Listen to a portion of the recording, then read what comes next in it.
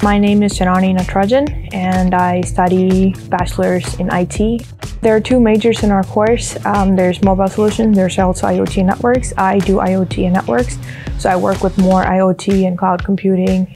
Um, I was born in India and I moved to Finland for about four years ago.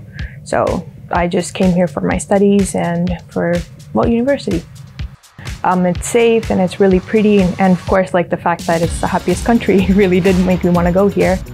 I chose Metropolia because there wasn't a lot of um, universities in the southern Finland that had um, IT courses and that too in English. So that kind of was a prime factor.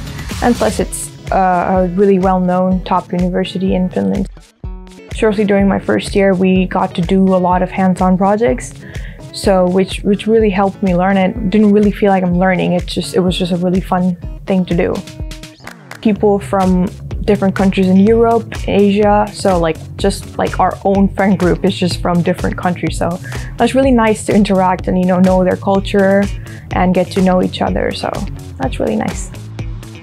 I didn't really hear that many universities offered this iot course. So it's a brand new course that they added this year, so I really wanted to try it out. I think IoT is the future because there are so many um, things that comes under IoT, like even in our everyday lives, even now.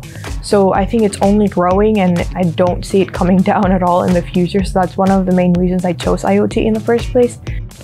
I would recommend this to anybody that's interested in technology. And if you're passionate about it, it's the perfect course for you make a difference with us.